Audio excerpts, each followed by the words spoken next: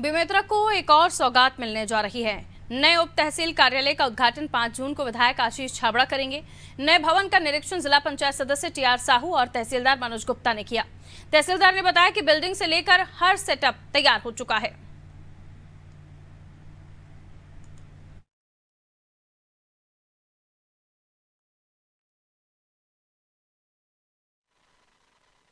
मुलाकात 28 दिसंबर 2022 को हुआ था, जिसमें क्षेत्रवासियों की मांग के अनुरूप क्षेत्रीय विधायक श्री आशीष छाबड़ा जी द्वारा उप तहसील की मांग प्राथमिकता के तौर पर किया गया था, जिसे मंच पर ही माननीय मुख्यमंत्री के द्वारा घोषणा भी की गई थी।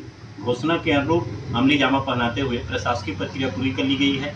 नए बजट सत्र वित्तीय वर्ष जिन्हें हम करते हैं 2023-24 अप्रैल से प्रारंभ हो चुका है, लेकिन विधिवत देरबीजा में उप तहसील का कार्यालय 5 जून 2023 को, दिन सोमवार को उनका उद्घाटन होना है, जिसमें मुख्य अतिथि बतौर हमारे क्षेत्रीय विधायक श्री आशीष कुमार चावड़ा जी रहेंगे, जिला कलेक्टर एवं राजस्व विभाग के पूरे अमला के साथ कार्यक्रम संपन्न होना है।